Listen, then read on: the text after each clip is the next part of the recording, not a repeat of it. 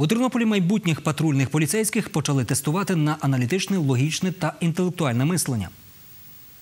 9 листопада на перший етап відбору запросили 300 кандидатів.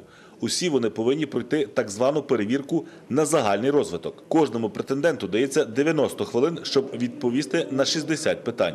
Сьогодні в приміщенні е, бібліотеки Тернопільського економічного національного університету розпочалось тестування кандидатів на патрульну службу в прийом в поліцію в місті Тернополі.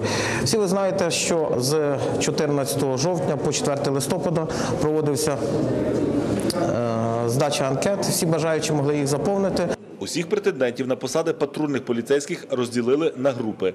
Для кожної визначили день та годину здачі тестування. Впродовж трьох тижнів, кажуть у головному управлінні національної поліції Тернопільської області, вони протестують усіх. Ще з дитинства одягнути форму та боротися зі злочинністю мріяла Юлія Пеляк з Монастириська. Жінка переконана, що вона зробить усе від неї залежне, щоб в її місті або районі завжди був мир та спокій. Рівень складності, ну я би не сказала, що вони надзвичайно складні. Я все написала. Бачила свій бал, думаю, що мій бал прохідний. Буду чекати на наступну на наступне тестування чи заявку і так далі. Поліція має бути з народом, з людьми, пояснювати, роз'яснювати людям, е, е, ну і так далі. Їхні права, обов'язки там допомагати. Тести доволі адекватні. пішли.